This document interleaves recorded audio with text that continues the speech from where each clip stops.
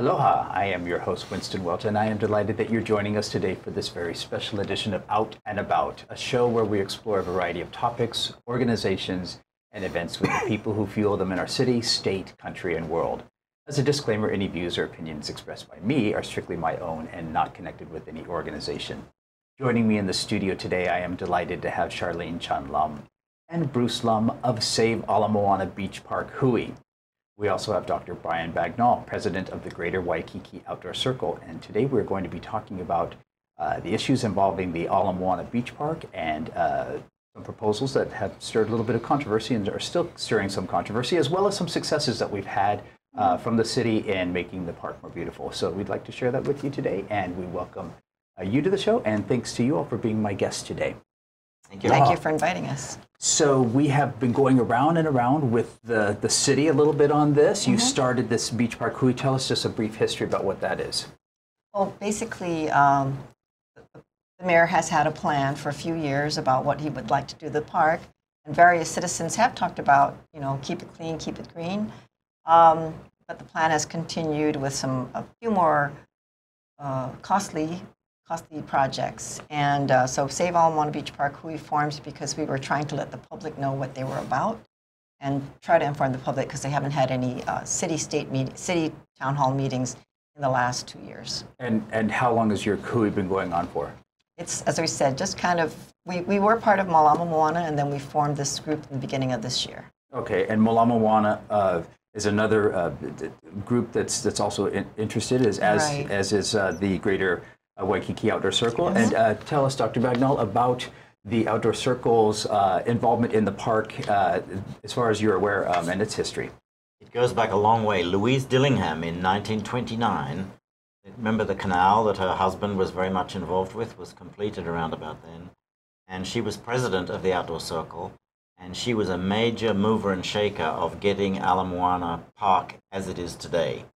And the trees, the feeling of open space, so we feel a strong connection to what she did all those years ago and all those women who fought to have a beautiful place in the city with trees and open space. Trees and open space. And I think that's an important point with, mm-hmm. with uh, what we're looking for is to preserve a sense of open space that the open space is actually critical to the park itself, to its original design, and to a city that's bursting at the seams right now. Right. Um, as you were saying earlier, Shard, that, that uh, this is like a country park for a lot of folks that live right. in, in, this area because they don't get a chance to go to the North Shore or, uh, you know, Kailua. There is so much cement around the, you know, our city nowadays that, and people are stuck in those little apartments. So truly, Ala Beach Park is like a country park for a lot of people. They can come out and camp or put their tents up.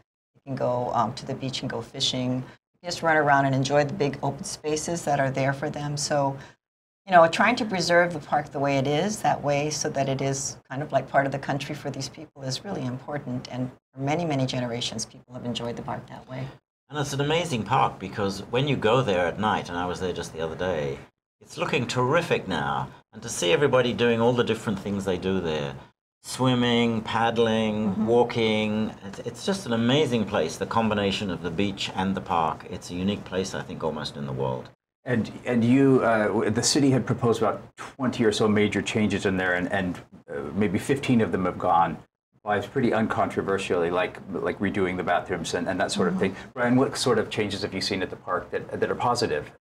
Well, remember when the mayor first talked about what he wanted to do, and there were going to be coloured walk paths, and people said, well, we don't want that. So I think they've focused initially on getting the essentials fixed. And I think they're done now. The irrigation system, the grass has never looked better. The trees have never looked better. They're just finishing repaving the road. Mm-hmm. Uh, Magic Island and the parking lot there is just being done, and it's it's look it looks terrific. And I think it's it's the way the park was meant to be. And so my feeling personally would be Congratulations, it looks great. No, time to stop.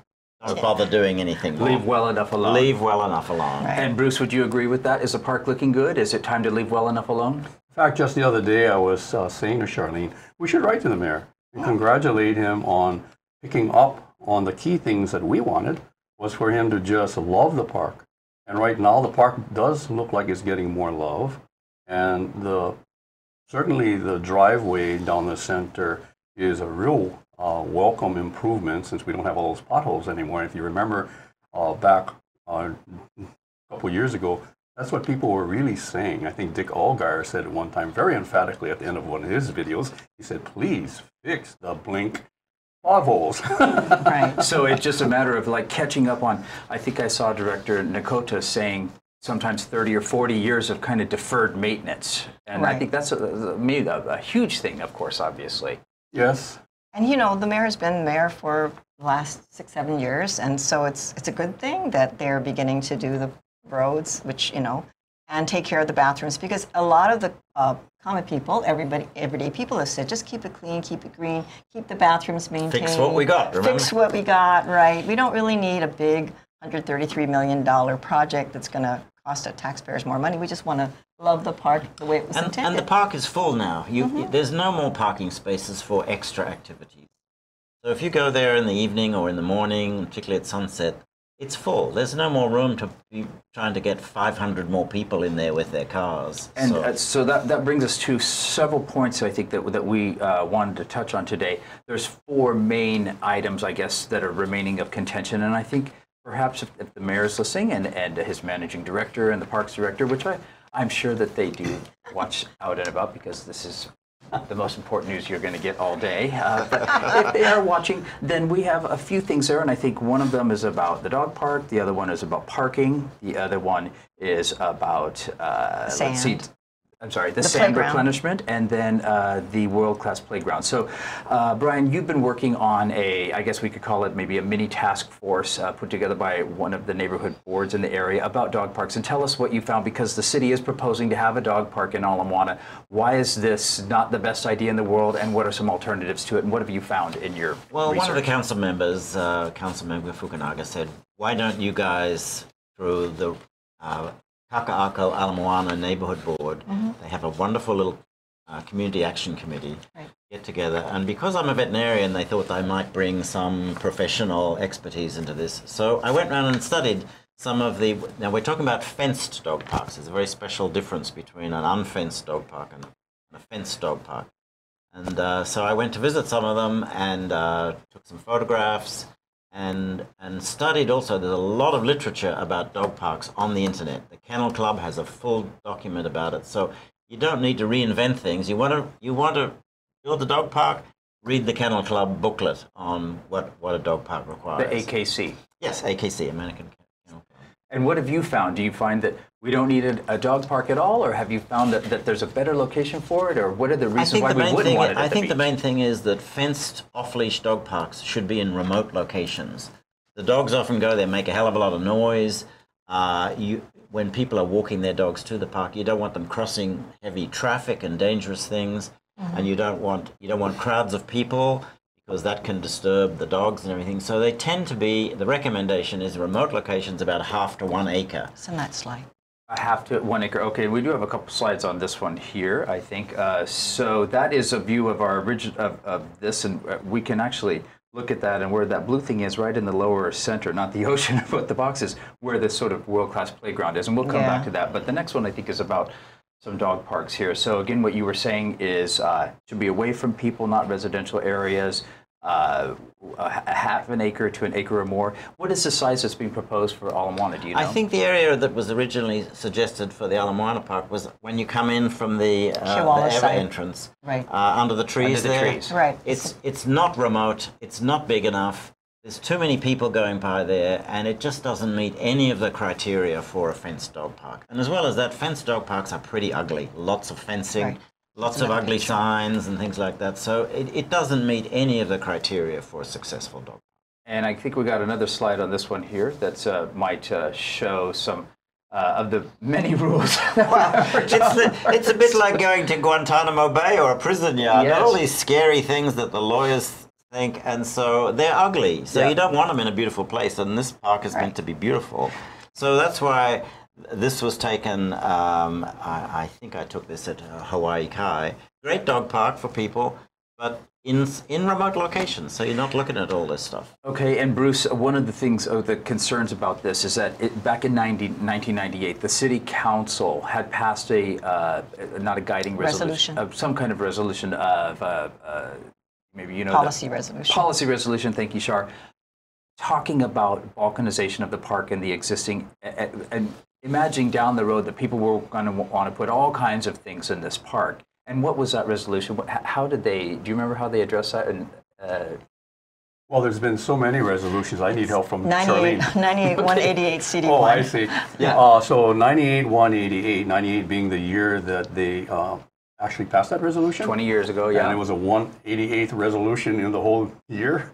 And that resolution really was there to uh, categorize the parks so that they could have in little pigeonholes uh, how uh, the identification, easy identification of the parks for budget reasons.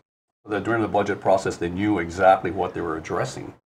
And in this particular case, I think what you're uh, alluding to is 98-188 specifies that parks like Ala Moana Park are actually uh, regional parks, but regional is a subset of the bigger label, which is multi-purpose. So in Ala Moana, I think they we actually they have actually fulfilled that requirement because there probably are more active uh, activities in Ala Moana Park than any other park. One of the things it does say there is that um, they need to maintain open space and that um, you can have active activities, but you cannot put up any permanent structures. Right. So permanent structures would be like the dog park with the fence around it, or like that playground with the big fence around it, which is a pretty permanent structure compared to the open green space. Well, they built lots of things after the war. Remember the the uh, what's the name Right. of the, the gate ball or the. Uh, Yes, and the uh, And those were before 1998. Yes, and so there's enough concrete and there's enough things there, and everybody agrees now all around the world that people, particularly as we're being urbanized, need open space. Just space to breathe. It, it has an amazing effect on people to be able to go into a park and feel open space, and they do that in New York with Central Park. Okay, and so uh, the, the park has this guiding document for 20 years because they realized this sort of thing, whether it was a Ferris wheel or a dog park or a I don't know, a, a, a world-class play, it, it- whatever it is, that they said, we need to make a policy now so that it's easier just to say, no more. It doesn't matter what it is because we have, we just can't put this here. But we have some other alternatives for the dog park, Brian. What did, what did your task force come up with as some solutions? Uh, the recommendation is that if you wanted to build the perfect fenced dog park not too far away, it would be Kaka'ako Waterfront Park. They've got slopes, they've got the, the dog owners need trees to sit in the shade. There's lots of area there, and it's remote and it's out of the way, and there's lots of car parking. So that would be the ideal place. In the meantime, they had previously uh, wanted to put a dog park in Mother Waldron Park. That is slated to have a school built sometime, and so our suggestion was if you've got a few years before they build the school, put a temporary fenced dog park there, and then when they build the school, take it down. And then Kaka'ako Waterfront Park might take another year or two to get the the transfer of the ownership and the funds and things like that. But that would be the perfect place. Yeah, and I just, you know, saw on the news, uh, Georgette Deemer talked about how they actually did agree to take over just a couple of days ago, and they got $2.24 million to make improvements to the park. So, you know, it sounds like a perfect time to build that right in. And Yeah, more money is great. coming from what More I money is coming, So we have this wonderful space in Kaka'ako, and obviously, as we can all see by driving by, that all the cranes are going to continue down as Kamehameha Schools and uh, uh, Howard Hughes continues to develop that. Lots of high rises in the area. Those people have dogs. What percent have dogs, would you say, Brian, in this, this country, state? Oh my gosh, I don't know the exact number, but it's pretty high. I think Yeah. it's uh, 50% or something. A lot of people have dogs. And in this area here, That's one of their selling points, right? Yes. The towers will advertise that you can bring dogs into your Okay. condo. And I, that, that would be another question I would raise with the city council is, um, shouldn't there be like a zoning thing that says that every condo that has a building well, should ma- many of them do. I was in the? I was in the AO building above Whole Foods mm-hmm. recently. They have a very nice little fenced dog park right mm-hmm. by their swimming pools there. Well, I'm going to say that, that, that, that those are nice for the people that just want their dog to walk one meter and, and then do his business and come back. But if you want a dog to let have a chance to be a dog, we need a proper dog park. Big That's, one. in that's why if you have one acre, you can do that, and, and the dogs Yeah, can run, run. and race. Let's there. go for three acres and make it even better. I don't think so because there's a lot of fencing required. Oh, that's true. And uh, the, the Humane Association has just donated quarter of a million dollars to build one up near the uh, University Avenue. They're expensive, and as you can see from that previous picture, a lot of fencing, a lot, and then they also, if they're run by the city, they have to close them a half day a week and have staff come and maintain them. There's a lot of money involved, and that you'd have to say, well, is that really a priority? Well, for me, it's a priority because I am a dog owner, and I say both and not either or. But uh, it's all good questions for the mill, and they do cost money. So we have a lot of different organizations that might come in and take over Friends of the Dog Park and that sort of thing. But in any event, we have a few more issues that we have to tackle Yes. after the break. We do have a one-minute break here. I am talking today with uh, Sharlene Chun Lum and Bruce Lum of Save Ala Moana Beach Park Hui, as well as Dr. Brian Bagnall, president of the Greater Waikiki Outdoor Circle. It is my honor to have them today. Stay tuned, and we will be back live in a moment.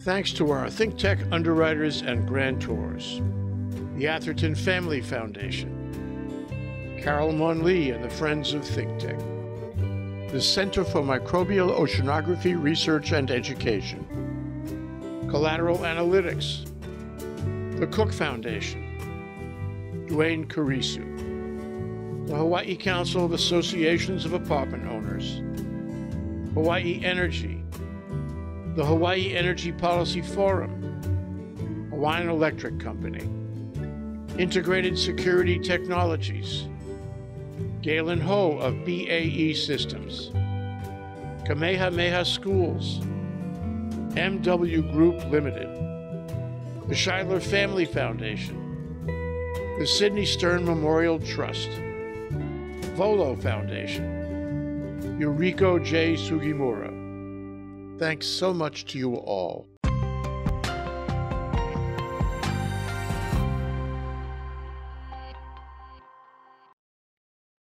Aloha, we are back and we are live. I'm Winston Welton. This is Out and About on the Think Live Streaming Network series. Today we are talking with Sharlene Chun Lum and Bruce Lum of Save Ala Moana Beach Park Hui, as well as Dr. Brian Bagnall, esteemed president of the Greater Waikiki Outdoor Circle. Uh, these wonderful folks are involved in uh, wanting to protect and preserve the best that we have about Ala Moana Beach Park and other areas in our city. And so that's what we're talking about today. We uh, have talked about the great things that the city has done to uh, Ala Moana uh, Beach Park already, like repaving it. They're starting to put in a lot of trees, Irrigation system. irrigation's fixed. Um, Tree The- care. tree care. The bathrooms are Yes. Renovated. Although I said I read it was nine hundred thousand dollars It took eight months.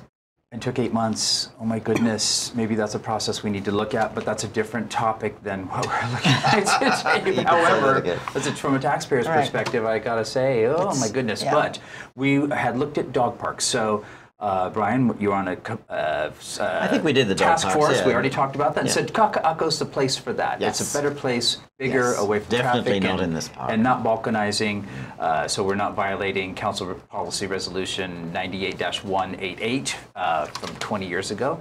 Uh, and we had a couple of uh, a few other issues on there. One is about parking.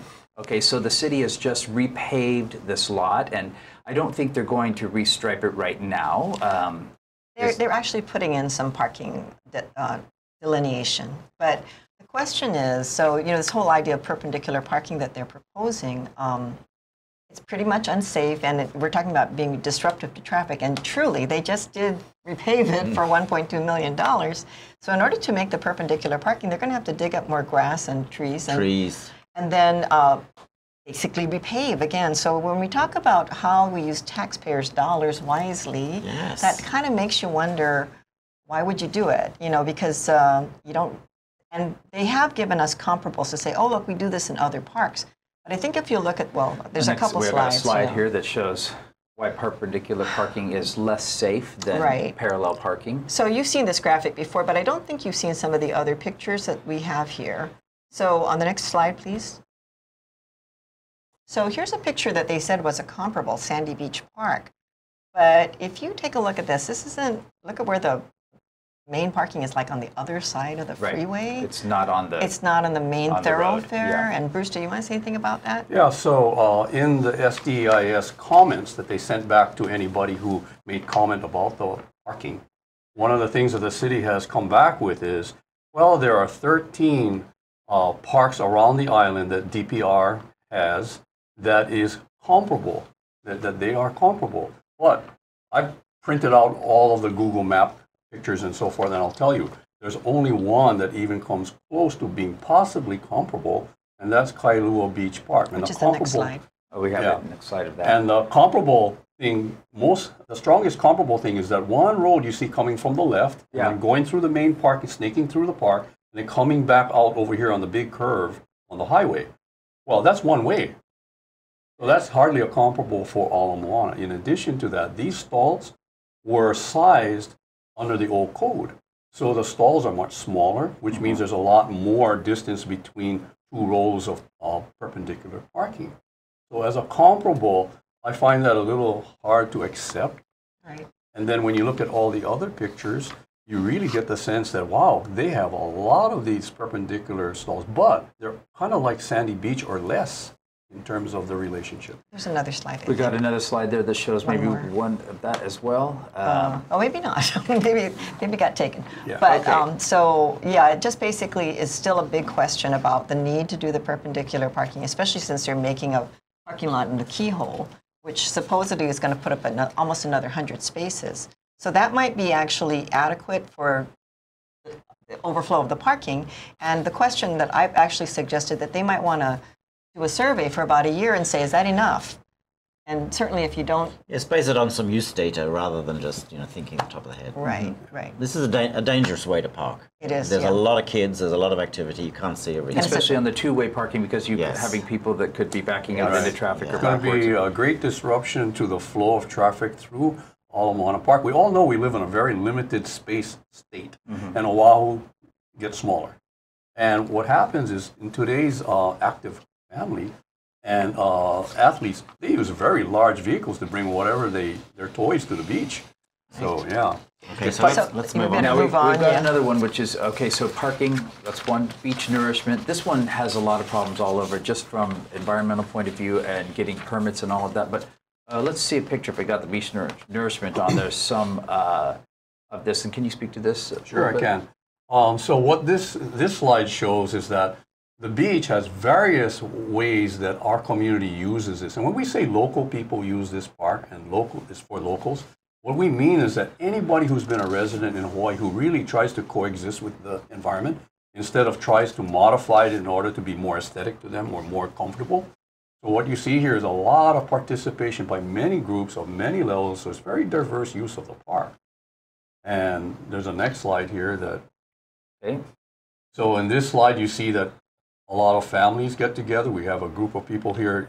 This is how they they actually pass on the knowledge to their family as to how to coexist with uh, you know our environment. And in Ala Moana, there's a lot of ocean environment. Yeah, so the, the thing about the sand, and I don't know if there's another slide or not, we might have Uh, pulled what's that one. slide? Maybe. But um, the, the thing about the sand is they're talking about 77 cubic feet of um, sand, which Cubic is yards. cubic yards, I'm sorry, which is about 21 Olympic-sized swimming pools full of sand Yeah. that they're going to put on this beach kind of indiscriminately because they kind of want it to look, you know, like all even for people to lie and enjoy the beach. There's a lot of big time environmental issues here. This is this is a very serious thing and not, not to be uh, messed with. And collecting it, fr- the collection area is sort of near to the drainage of the Ala Wai Canal, which has its own um, issues, and that, Right. that sand really hasn't been tested. I think, and uh, from what you were saying, that the, the sand would go right up to the top of the wall, uh, existing wall. So when and 78 feet out. and 70 feet eight. So when the water comes up, it'll just wash right over the wall and so dump so some we, sand? we oppose it. We think Yes. it's not necessary at all. or or something else has to be thought of maybe a more deeply thing. about this, about how to do this. But Because for we're right- just skimming over the cultural impacts. And the, the real important one is that the impact on the actual habitat there for all of the biota and all of the uh, fish that we all enjoy and so forth that live there, you pretty much wipe out their smorgasbord. That's their, But there their, i- their there is- table. You know? so that There so is a, there is an elephant in the living room. Lots of problems with that. The elephant in the living Let's room. go or for the the- elephant in the living room, which is the site of the proposed world-class playground. So we've got um, A slide another there. slide on this, and uh, tell us about the world-class playground. What's So- the issue? With, what are the Well, issues with if we go back to the open green space that we talked about in the very beginning and the whole concept of the park as being a place for people to of all you know all kinds of ages and abilities to be able to utilize the park the way they want to whether it's uh, doing sports, whether it's having. This is a permitted area. This is actually the area where the playground would be. I mean, the yeah, the amusement park would be. So you'll see that a lot of times on the weekends, families have their weddings, their you know baby Yeah, and showers. when there's big events like the lantern floating and other things, this area is just full of people. So, Right. um, uh, engineer Robert Croning of the city said this is dead space. Well, really? That's exactly what it's meant to be Yeah. open space, and it's enjoyed by thousands and thousands And back people. to that, you know, ruling that you, you questioned about 98 188. The thing about having it open is that people who rent it for the weekend, or not rent it, they reserve it for the weekend, they put up their structures, but they take them down. And then it's still the open green space. Once you put the playground on, I think there's a picture of the playground, proposed playground in the next slide. Let's see if we got the proposed playground on here. Uh, Yeah, so this big playground, which you don't actually see the perimeter fencing too well, but that was one of the conditions that they would have this fencing around to protect it at night with lighting, etc. And basically, what it is is we're giving away public land to private interests. So And the city is going to maintain this? Supposedly, but you know, look at how long it took them to repair that bathroom where 40 the road. years? this, this is a monster in the making, and it doesn't belong here. There's not room for it. There's not room for parking there, and it belongs in Kaka'ako Waterfront Park, where there's already a children's discovery center and loads of parking, and it's remote, and it's uh, so. And, and, and, and there's something to that effect that says that the, uh, the city or the, the, the regional plan says uh, that this space is for that in Kaka'ako. Is that right? Right. There was an original plan. There is an original plan that says that there's supposed to be Keiki a zone. Keiki zone. It'd be That's- perfect there. Right next to. And Um, a keiki zone sounds like it would be for keikis, right? Yep. To have a playground and a, Right. and a park, and then next door, while their parents are walking the dogs, or one parent's there and one, you know, grandma's over here walking. I mean, kid. it's a. It's really a. It's op- like a blank canvas. Yes, and it's to really a it- lovely space. And now they're dealing with all the problems that of ownership and homelessness and everything, and, and they could make that a, a treasure place. So there. we'll envision a treasured space, keiki zone, and have again this great uh, parts of it are very great ideas. Um, moving over to Kaka'ako, where it's just literally on the other side of the uh, of the, basin, yeah. the basin, and so we've we've got the two very contentious elements. Just move down the road a little bit, where there's plenty of space, plenty And a of very safe place. and a safe place. Very and safe as the city takes ownership of this and reclaims this for the people, it'll be. And Uh, imagine that right on smack dab on Kaka'ako Gateway Park, which is very close to the bar- bus line, very close to the road, easy to get to. So perfect for for everybody. And you know, of course, these are this is impossible for us to solve all of these in a half an hour, but I think you all have done an amazing job of explaining these four basic issues of you know the, the parking, sand nourishment, the world class playground, and the dog park needing to have something the city look at this and say "Mm, it needs a lot more discussion, a lot more argument. we did we did find what we've done, but let's leave well enough alone. And so, if people want to get uh, in touch with you, they can go to Save Ala Moana Beach Park at gmail.com, Save Ala Moana Beach Park at gmail.com, or Waikiki Outdoor Circle dot org. Waikiki uh, out, uh, Outdoors Circle.org. Uh, anyway, thank you so much for being my guest. We'll come back and discuss this again. Let's see what happens in Yes. the city. But I mean, uh, let's celebrate the uh, Ala Moana Park. It's beautiful as it is. Thank you to our officials who have done such a beautiful job improving this, and thank you for watching our show so you can hear about community concerns on Out and About. I am Winston Welch, this has been our show for today on the Think Tech Live Streaming Network series. We've been talking with Sharlene Chun Lum and Bruce Lum of Stave Ala Moana Beach Park Hui, as well as Dr. Brian Bagnall, the president of the Greater Waikiki Outdoor Circle. You can Google over those and find more information. Get involved. Call the city if you care. Thanks for tuning in, and we welcome your feedback. Thanks to our broadcast engineer, Robert McLean, our floor manager, Eric Calander, and to Jay Fidel, our executive director, who puts it all together. I'll see you here every other Monday at 3 for more of Out and About on Think Tech. Aloha, everyone.